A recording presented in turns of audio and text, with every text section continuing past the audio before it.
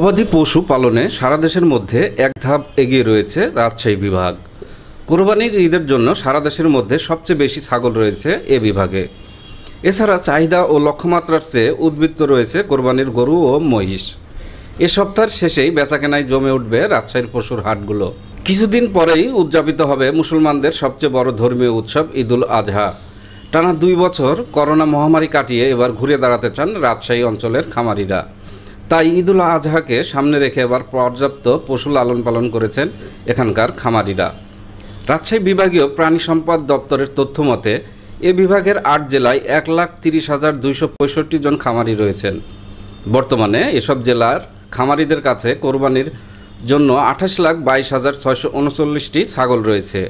ভেড়া রয়েছে চার লাখ পঁচাশি হাজার নয়শো সপ্তাশিটি। আর ছাগলের মতো ভেড়ার সংখ্যাও বেশি। এছাড়া গরু রয়েছে এগারো লাখ উনচল্লিশ হাজার ছয়শো উনিশটি। মহিষ রয়েছে একুশ হাজার পাঁচশো একুশটি।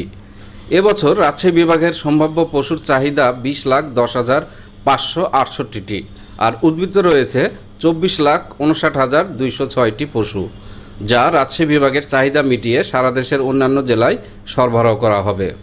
আর রাজশাহী জেলার প্রাণী সম্পদ দপ্তরের তথ্য মতে, রাজশাহী জেলার নয় উপজেলায় ষোলো হাজার উনআশি জন খামারি রয়েছেন। এ জেলায় কোরবানির জন্য মোট পশু প্রস্তুত রয়েছে তিন লাখ বিরানব্বই হাজার আটশো বান্নটি।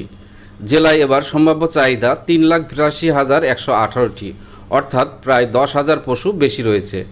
এর মধ্যে এক লাখ একুশ হাজার তিনশো বাহাত্তরটি গরু, দুই লাখ তেত্রিশ হাজার দুইশো পঁয়ত্রিশটি ছাগল, আটত্রিশ হাজার দুইশো পঁয়তাল্লিশটি ভেড়া রয়েছে। এছাড়া মহিষ রয়েছে তিন হাজার দুইশো এগারোটি যা চাহিদার তুলনায় বেশি। ছোট ও মাঝারি খামারির মালিকরা বলছে, বাজারে গোখাদ্যের দাম চড়া হওয়ায় পশুপালনের ব্যয় বেড়েছে দ্বিগুণ। আমাদের নাবা ডেরিয়ান ক্যাটেল ফার্মে বর্তমানে পাঁচশো আশিটি গরু রয়েছে। এর মধ্যে কোরবানিতে বিক্রয় উপযোগী গরু রয়েছে একশো পঞ্চাশটি। অলরেডি আমাদের অনলাইন এবং এই ফার্ম থেকে চল্লিশটি গরু আমরা বিক্রয় করে দিয়েছি। আর আমরা এখানে লাইভ ওয়েটে গরু সেল করছি। চারশো পঞ্চাশ টাকা থেকে শুরু করে গরুর ওজন অনুযায়ী পাঁচশো টাকার বেশি লাইভ ওয়েটের গরু আমাদের ফার্মে রয়েছে। আমাদের প্রত্যেক দিনই ফার্মে লোকজন আসছেন এবং সেই সাথে আমরা গরু বিক্রি করতে পারছি। আর দ্রব্যমূল্যের ঊর্ধ্বগতির কারণে পূর্বের তুলনায় গরুর মূল্য কিছুটা বেশি। আর জাত সম্পর্কে যদি বলি, আমাদের ফার্মে দেশি শাহিওয়াল, শাহিওয়ালের ক্রস এবং হলস্টেন ফিজিয়ানের জাতের গরু রয়েছে। আমরা বিগত কয়েক বছর ধরেই গরু লালন পালন করছি। তো হঠাৎ করে এই যে গরুর খাবার দাবার গোখাদ্যর দাম এত পরিমাণে বাড়া, বেড়ে গেছে, তো এতে করে আমরা গরু লালন পালন করতে হিমশিম খাচ্ছি।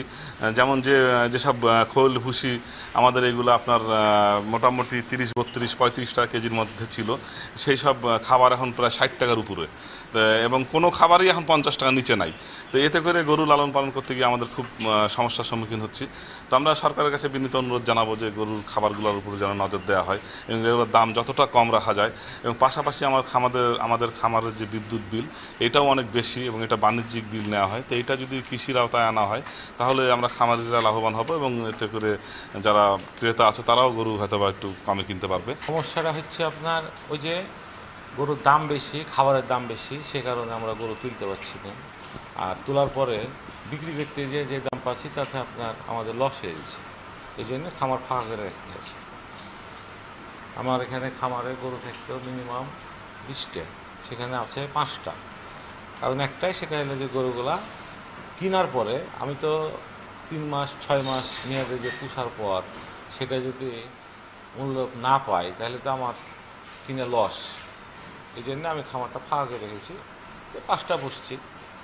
অনেক কিছু দাম বেড়ে গেছে, সব কিছুরই। গমের দাম বাড়তি, ভুট্টার দাম বাড়তি, ধানের দাম বাড়তি, খুদের দাম বাড়তি। এই কারণে আমার গরু তোলা অসম্ভব হয়ে গেছে।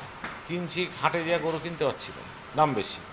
আবার কিনে নিয়ে আসার পরে ওই গরুটা মোটা তাজা করার পরে সেটা দেখা গেছে বিক্রি করতে যে ওই দামটা পাচ্ছি না। না পাওয়ার কারণে আমার ক্যাশ থেকে ক্যাশই হারিয়ে গেছে। তো ক্যাশ কত আপনার লস দেবো? তার থেকে না পোষায় ভালো। রাজশাহী বিভাগে পর্যাপ্ত পশু রয়েছে যা এ বিভাগের চাহিদা মিটিয়ে সারা দেশে সরবরাহ করা হবে। আর কোরবানিকে কেন্দ্র করে কিছু অসাধু খামারি দ্রুত গরু মোটা তাজা করতে ক্ষতিকর স্টেরয়েড ব্যবহার না করতে পারে। এজন্য প্রাণী সম্পদ দপ্তর থেকে মনিটরিং টিম কাজ করছে বলে জানালেন বিভাগীয় প্রাণী সম্পদ দপ্তরের পরিচালক। রাজশাহী বিভাগ প্রাণী সম্পদে সমৃদ্ধ। কোরবানি উপলক্ষে এখানকার খামারিরগণ গরু, মহিষ এবং ছাগল ভেড়া লালন পালন করে করেছে এবং এবছর গরু এবং মহিষ সাড়ে এগারো লক্ষ এবং ছাগল এবং ভেড়া তেত্রিশ লক্ষর মতো লালন পালন করেছে। এই বিভাগে জনগণের কোরবানির জন্য চাহিদা রয়েছে বিশ লক্ষের মতো আর উদ্বৃত্ত রয়েছে চব্বিশ লক্ষ, প্রায় সাত চব্বিশ লক্ষর মতো গবাদি পশু উদ্বৃত্ত হয়েছে যা দেশের বিভিন্ন প্রান্তে সরবরাহ হয়ে থাকে। কোরবানি উপলক্ষে গবাদি পশু লালন পালনের জন্য আমরা খামারিরা যেন স্টেরয়েড জাতীয় কিংবা কোনো ক্ষতিকর দ্রব্য ব্যবহার করতে না পারে এই জন্য আমাদের বিভাগ থেকে, পূর্ব থেকেই খামারিগণকে সতর্ক করেছে এবং এই ধরনের কার্যক্রম যাতে না করেন এই জন্য আমাদের মনিটরিং হয়েছে। কোরবানির জন্য সবচেয়ে বেশি ছাগল রয়েছে এ বিভাগে। Selim Uddin desk report, Nabarup TV.